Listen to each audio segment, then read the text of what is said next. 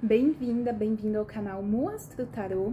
Hoje vamos fazer uma leitura sobre futuro da sua vida amorosa. Faz os ajustes para a sua situação, uma leitura coletiva. Então tem coisas que vão ressoar, tem coisas que não vão ressoar, mas é, me conta o que ressoar, tá bom? E apoie esse trabalho, se inscreva se você não é inscrito, essas coisas básicas, né, gente? Eu vou abrir duas leituras, você pode escolher uma das duas ou você pode assistir as duas e fazer os ajustes para sua situação. Opção 1 vai ser com a ágata azul e a opção 2 vai ser com este cristal aqui, que é um cristal transparente. Vou usar o tarô, baralho cigano.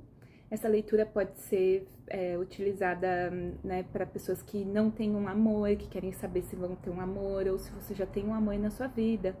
Então, hoje é dia de Santo Antônio, né? As pessoas geralmente costumam é, se conectar né, nessa energia de amor e também foi dia dos namorados nessa semana, então por isso eu estou trazendo essa leitura especial. E se você gostar dessa leitura e quiser mais leituras como essa, escreve aqui nos comentários. Quem quiser aprender a ler tarô, tem um curso de tarô pronto, vou deixar na descrição do vídeo.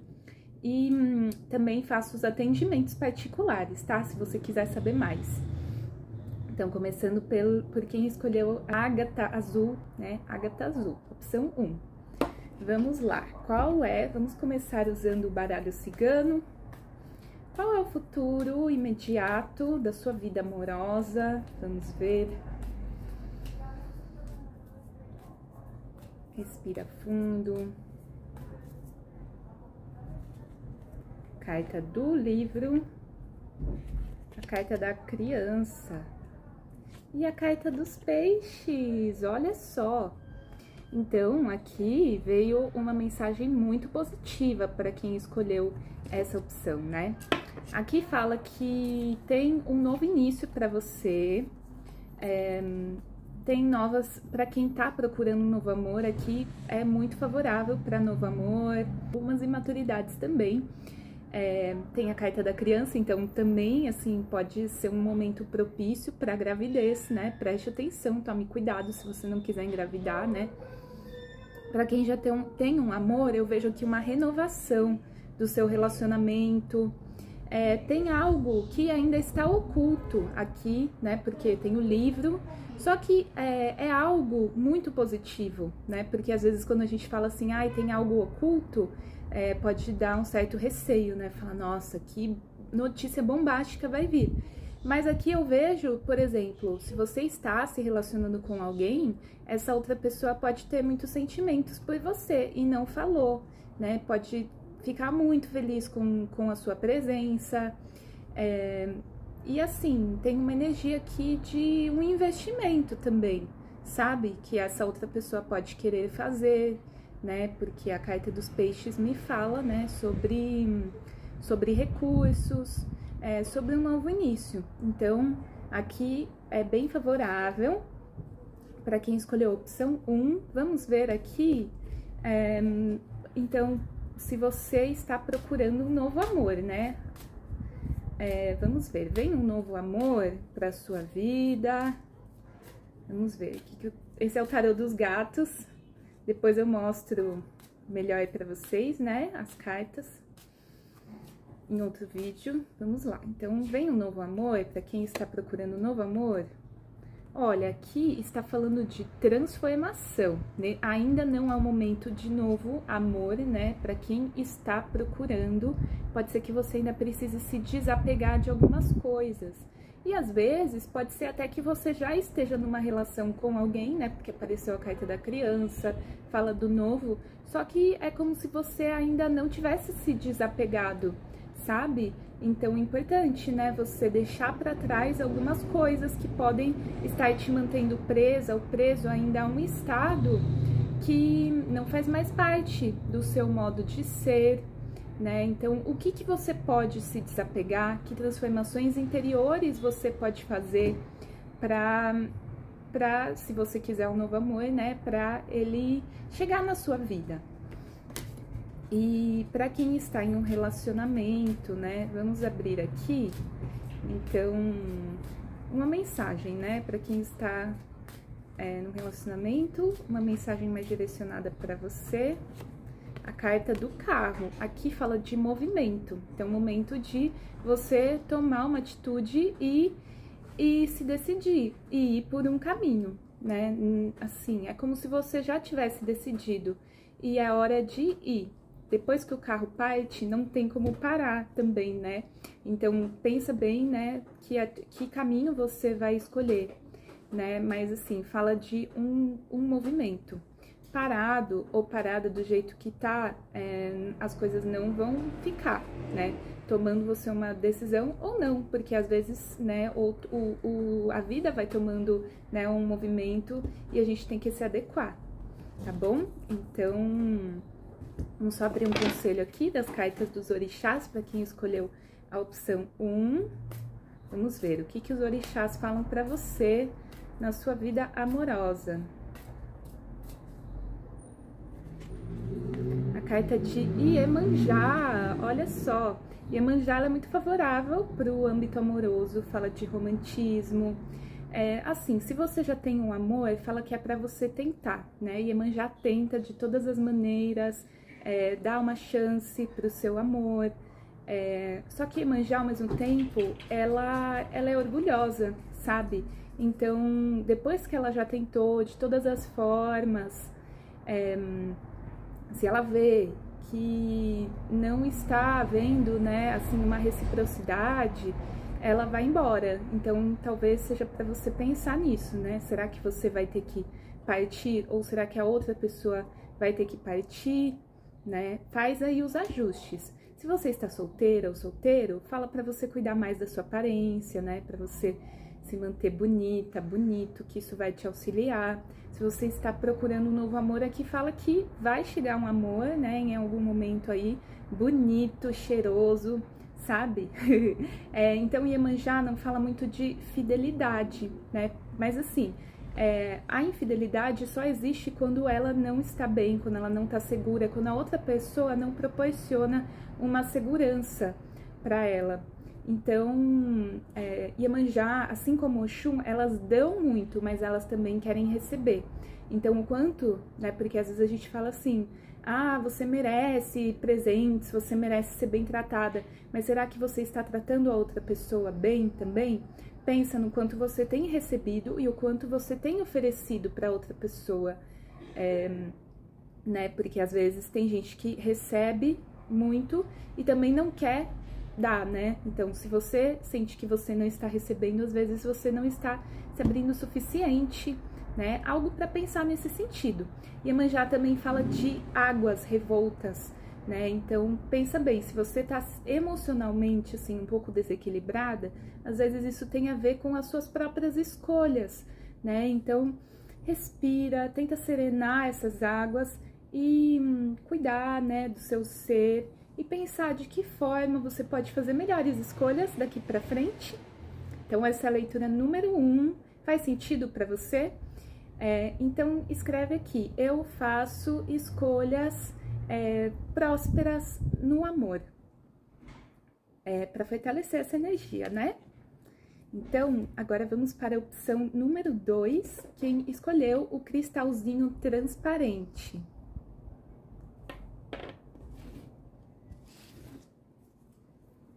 Vamos lá, futuro da sua vida amorosa, o que, que vem vindo para você aí?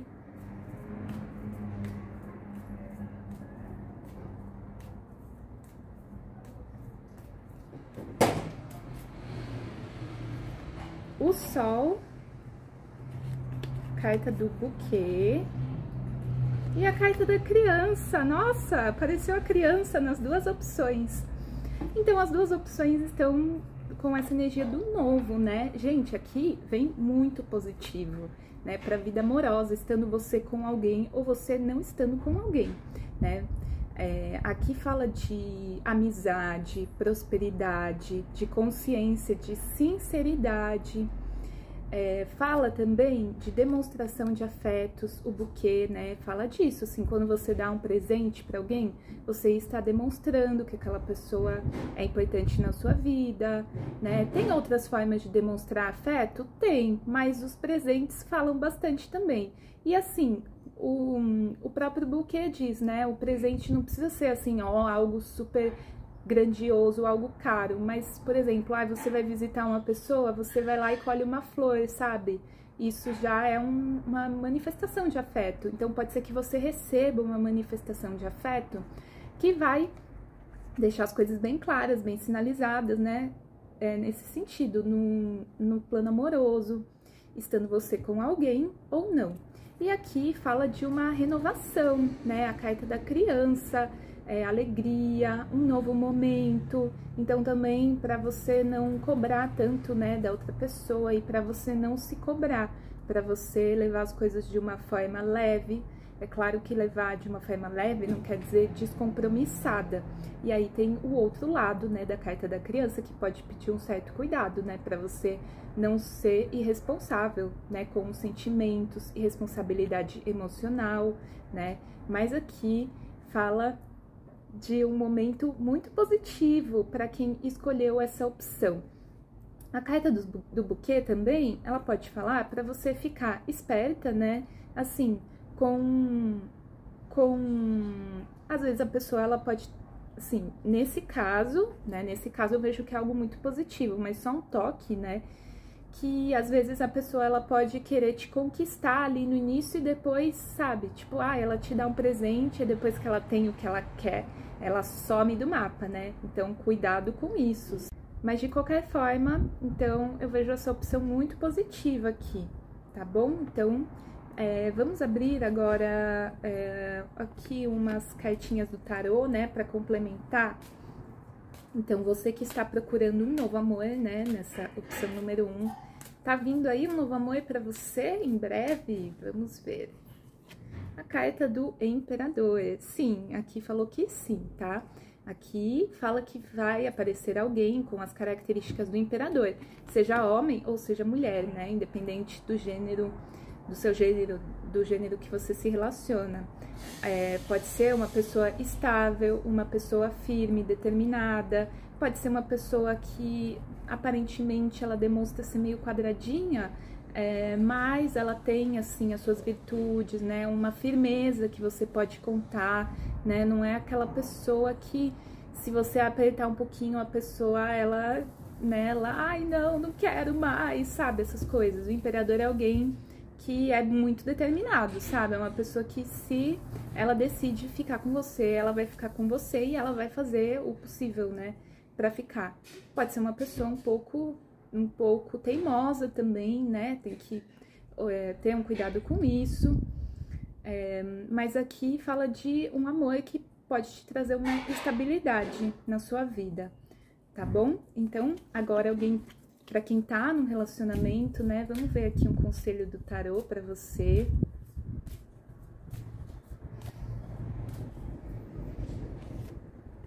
A carta da torre. Bom, aqui fala de abalo, né, nas estruturas de mudança, pode falar de separação, né, mas assim, antes da separação, é, antes de chegar a esse ponto extremo, pode ser que seja necessária aí uma mudança, né, uma revolução para quem não tá querendo se separar, né, quem quer ficar com o seu amor, é, aqui algumas coisas precisam é, ser, ser colocadas, sabe? Alguns pingos nos is e hum, algumas mudanças precisam ser feitas, sabe? Pode ser que isso venha assim de uma forma meio abrupta, mas vai te trazer um alívio, entende? Porque do jeito que tá, não tem como ficar, tem coisas que estão assim, como se fosse na corda bamba. Então a torre é como se ela trouxesse um alívio, porque hum, é, ela fala de coisas que, que desmoronam, mas são coisas que já não têm estrutura entende? Então, se algo desmoronar no seu relacionamento, saiba que aquilo não tinha mais sustentação. Uma hora ou outra iria acontecer. Então, a melhor é que seja agora, né? Porque depois isso vai abrir o caminho para você. Ou melhor, que seja na hora que, que é para ser, né? Então, é, me fala se faz sentido. A gente vai abrir agora uma carta do Oráculo dos Orixás, né? Das cartas dos Orixás, como um conselho para você aqui. O que, que elas nos falam?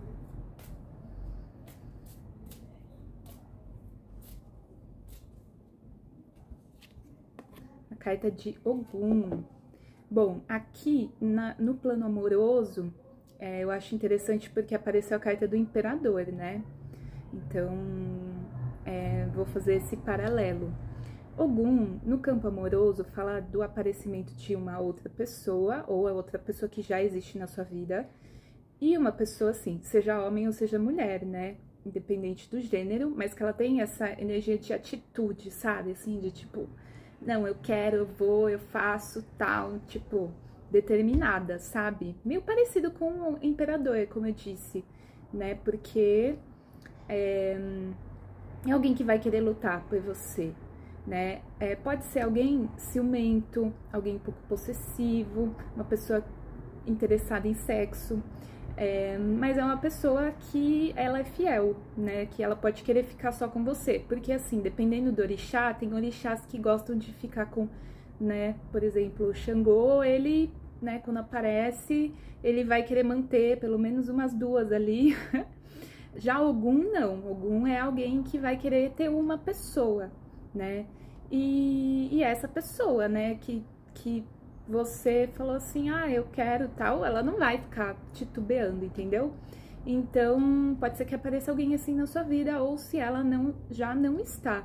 Então, é muito difícil resistir a essa pessoa aqui, sabe? Porque, assim, é algum, sabe? Ele é o cara que vai ser determinado, ou é a mulher, né, determinada, assim, que não vai ter tempo ruim, entendeu? Assim, que vai querer estar do seu lado, se você quiser, né? Então, me fala se faz sentido. E assim, pode ser que se você quiser estar com alguém, né? Se você gosta de alguém, tá falando para você ter essa determinação, entende? De tirar os obstáculos, afastar, né? Então, será que você está sendo determinado, determinado, né? Lutando pelo seu amor? Ou não só por uma pessoa, mas lutando pelo seu amor mesmo, sabe? Às vezes a gente precisa se impor assim, porque a outra pessoa não pode fazer o que ela quiser de você, entendeu? Então, quando aparece um orixá guerreiro assim, sabe?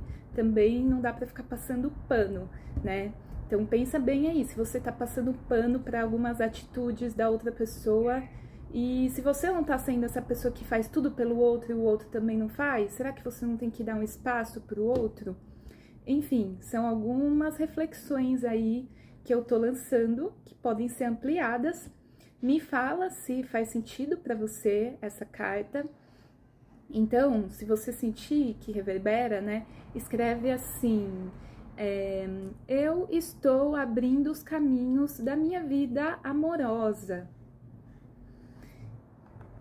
Então, muito grata. Eu espero que essa leitura possa te auxiliar, que a espiritualidade abençoe todos que assistiram aqui. E se você puder apoiar esse trabalho, eu vou ficar muito grata também. Deixe o seu like, comente, se inscreva, ative as notificações. E para mais conteúdos como esse, me siga no Instagram Muastro Tarô. Até mais, um abraço!